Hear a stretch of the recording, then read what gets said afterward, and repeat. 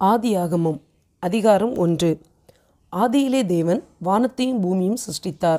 பூமியானது ஒழுங்கின்மையும் வெறுமையுமாய் இருந்தது. ஆழத்தின் மேல் இருள் இருந்தது. தேவ ஆவியானவர் ஜலத்தின் மேல் அசைவாடிக் கொண்டிருந்தார். தேவன் வெளிச்சம் உண்டாக கடவது என்றார். வெளிச்சம் உண்டாயிற்று.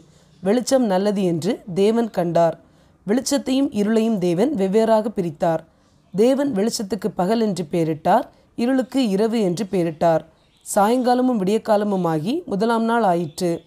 பின்பு தேவன் ஜலத்தின் மத்தியில் ஆகாய விரிவு உண்டாக கடவது என்றும் அது ஜலத்தினின்று ஜலத்தை பிரிக்க கடவது என்றும் சொன்னார். தேவன் ஆகாய விரிவை உண்டு பண்ணி ஆகாய விரிவுக்கு கீழே இருக்கிற ஜலத்திற்கும் ஆகாய விரிவுக்கு மேலே இருக்கிற ஜலத்திற்கும் பிரி உண்டாக்கினார். அது அப்படியே ஆயிற்று. தேவன் ஆகாய விரிவுக்கு வானம் என்று பெயரிட்டார். சாயங்காலமும் விடியற்காலமுமாகி இரண்டாம் நாள் ஆயிற்று.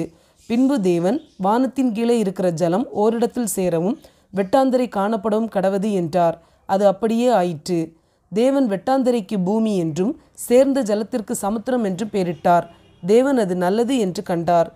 அப்பொழுது தேவன் பூமியானது புல்லையும் விதையை பிறப்பிக்கும் பூண்டுகளையும் பூமியின் மேல் தங்களில் தங்கள் விதைகளையுடைய கனிகளை தங்கள் தங்கள் ஜாதிகளின்படியே கொடுக்கும் கனி விருட்சங்களையும் முளைப்பிக்க கடவது என்றார். அது அப்படியே ஆயிற்று. பூமியானது புல்லையும் தங்கள் தங்கள் ஜாதியின்படியே விதையை பிறப்பிக்கும் பூண்டுகளையும் தங்கள் தங்கள் ஜாதியின்படியே தங்களில் தங்கள் விதையுடைய கனிகளை கொடுக்கும் விருட்சங்களையும் முளைப்பித்தது. தேவன் அது நல்லது என்று கண்டார். சாயங்காலமும் விடியற்காலமுமாகி மூன்றாம் நாள் ஆயிற்று. பின்பு தேவன் பகலுக்கும் இரவுக்கும் வித்தியாசம் உண்டாகத்தக்கதாக வானம் என்கிற ஆகாய விரிவிலே சுடர்கள் உண்டாக கடவது. அவைகள் அடையாளங்களுக்காகவும் காலங்களையும் நாட்களையும் வருஷங்களையும் குறிக்கிறதற்காகவும் இருக்க கடவது என்றார். அவைகள் பூமியின் மேல் பிரகாசிக்கும்படிக்கு வானம் என்கிற ஆகாய விரிவிலே சுடர்களாய் இருக்க கடவது என்றார். அது அப்படியே ஆயிற்று. தேவன் பகலை ஆள பெரிய சுடரும் இரவை ஆள சிறிய சுடரும் ஆகிய இரண்டு மகத்தான சுடர்களையும் நட்சத்திரங்களையும் உண்டாக்கினார். அவைகள் பூமியின் மேல் பிரகாசிக்கவும் பகலையும் இரவையும் ஆளவும் வெளிச்சத்துக்கும் இருளுக்கும் வித்தியாசம் உண்டாக்கவும் தேவன் அவைகளை வானம் என்கிற ஆகாய விரிவிலே வைத்தார். தேவன் அது நல்லது என்று கண்டார். சாயங்காலமும் விடியற்காலமுமாகி நாலாம் நாள் ஆயிற்று. பின்பு தேவன் நீந்தும் ஜீவ ஜந்துகளையும் பூமியின் மேல் வானம் என்கிற ஆகாய விரிவிலே பறக்கும் பறவைகளையும் ஜலமானது திரளாய் ஜனிப்பிக்க கடவது என்றார். தேவன் மகா மச்சங்களையும் ஜலத்தில் தங்கள் தங்கள் ஜாதிகளின்படியே திரளாய் ஜனிப்பிக்கப்பட்ட சகலவித நீர்வாழும் ஜந்துக்களையும் சிறகுள்ள ஜாதி ஜாதியான சகலவித பட்சிகளையும் சிருஷ்டித்தார். தேவன் அது நல்லது என்று கண்டார். தேவன் அவைகளை ஆசிர்வதித்து நீங்கள் பலுகி பெருகி சமுத்திர ஜலத்தை நிரப்புங்கள் என்றும் பறவைகள் பூமியில் பெருக கடவது என்றும் சொன்னார். சாயங்காலமும் விடியற்காலமுமாகி ஐந்தாம் நாள் ஆயிற்று. பின்பு தேவன் பூமியானது ஜாதி ஜாதியான ஜீவ ஜந்துக்களாகிய நாட்டு மிருகங்களையும் ஊரும் பிராணிகளையும் காட்டு மிருகங்களையும் ஜாதி ஜாதியாக பிறப்பிக்க கடவது என்றார். அது அப்படியே ஆயிற்று. தேவன் பூமியிலுள்ள ஜாதி ஜாதியான காட்டு மிருகங்களையும் ஜாதி ஜாதியான நாட்டு மிருகங்களையும் பூமியின் ஊரும் பிராணிகள் எல்லாவற்றையும் உண்டாக்கினார். தேவன் அது நல்லது என்று கண்டார். பின்பு தேவன் நமது சாயலாகவும் நமது ரூபத்தின்படியேயும் மனுஷனை உண்டாக்குவோமாக.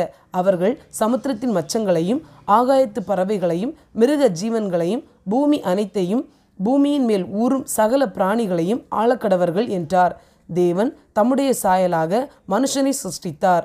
அவனை தேவ சாயலாகவே சிருஷ்டித்தார். ஆணும் பெண்ணுமாக அவர்களை சிருஷ்டித்தார். பின்பு தேவன் அவர்களை நோக்கி நீங்கள் பலுகி பெருகி பூமியை நிரப்பி அதை கீழ்ப்படுத்தி சமுத்திரத்தின் மச்சங்களையும் ஆகாயத்து பறவைகளையும் பூமியின் மேல் நடமாடுகிற சகல ஜீவ ஜந்துக்களையும் ஆண்டு கொள்ளுங்கள் என்று சொல்லி தேவன் அவர்களை ஆசீர்வதித்தார்.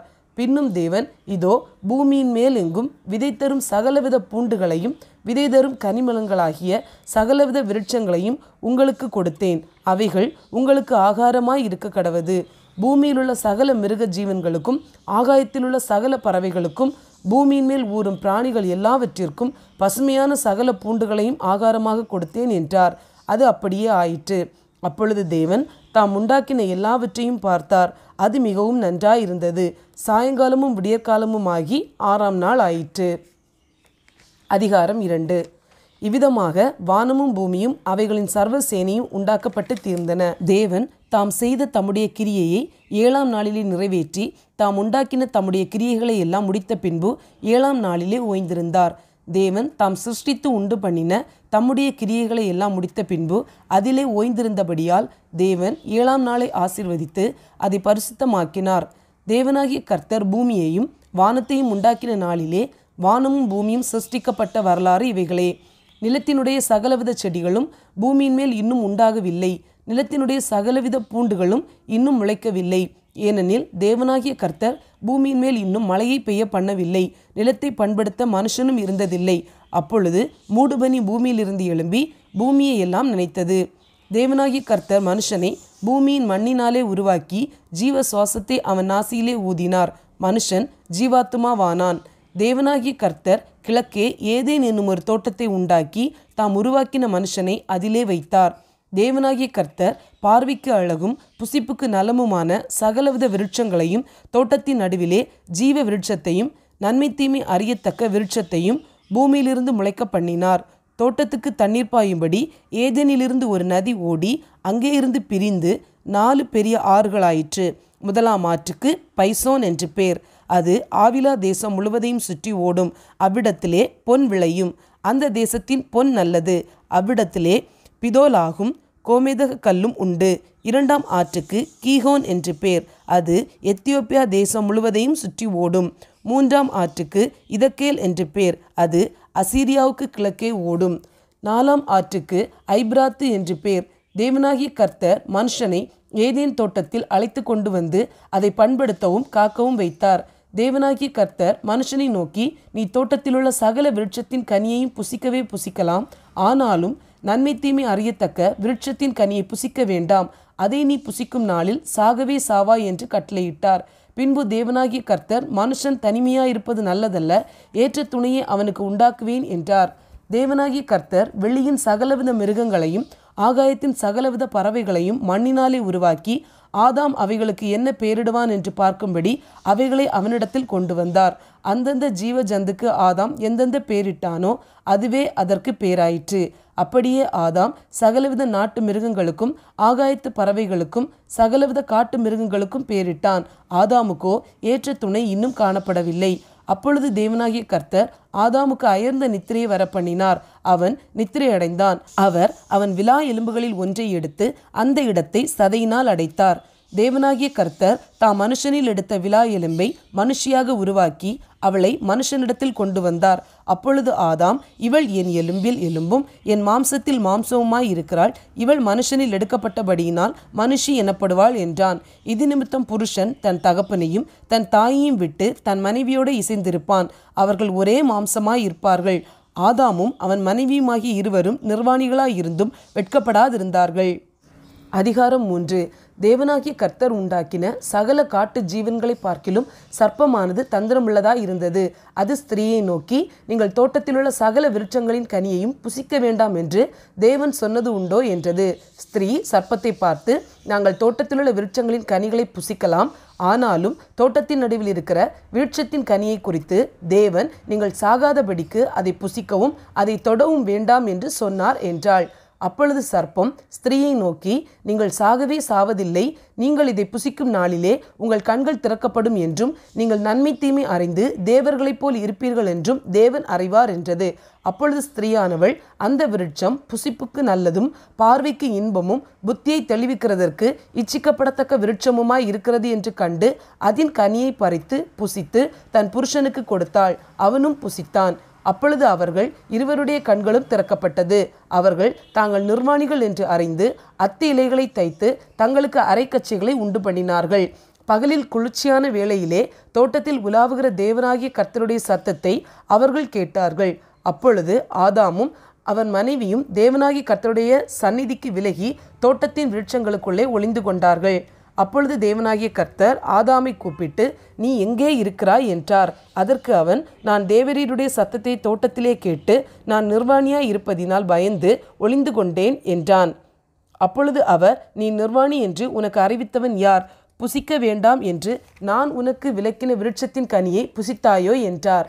அதற்கு ஆதாம் என்னுடனே இருக்கும்படி தேவதீர் தந்த ஸ்திரீயானவள் அவ்விருட்சத்தின் கனியை எனக்கு கொடுத்தாள். நான் புசித்தேன் என்றான். அப்பொழுது தேவனாகிய கர்த்தர் ஸ்திரீயை நோக்கி நீ இப்படி செய்தது என்ன? என்றார். ஸ்திரீயானவள் சர்ப்பம் என்னை வஞ்சித்தது நான் புசித்தேன் என்றாள். அப்பொழுது தேவனாகிய கர்த்தர் சர்ப்பத்தை பார்த்து நீ இதை செய்தபடியால் சகல நாட்டு மிருகங்களிலும் சகல காட்டு மிருகங்களிலும் சபிக்கப்பட்டிருப்பாய். நீ உன் வயிற்றினால் நகர்ந்து உயிரோடு இருக்கும் நாளெல்லாம் மண்ணை தின்பாய். உனக்கும் ஸ்திரீக்கும் உன் வித்துக்கும் அவள் வித்துக்கும் பகை உண்டாக்குவேன். அவர் உன் தலையை நசுக்குவார் நீ அவர் குதிகாலை நசுக்குவாய் என்றார். அவர் ஸ்திரீயை நோக்கி நீர் கர்ப்பவதியாய் இருக்கும்போது உன் வேதனையை மிகவும் பெருக பண்ணுவேன். வேதனையோடே பிள்ளை பெறுவாய். உன் ஆசை உன் புருஷனை பற்றி இருக்கும்.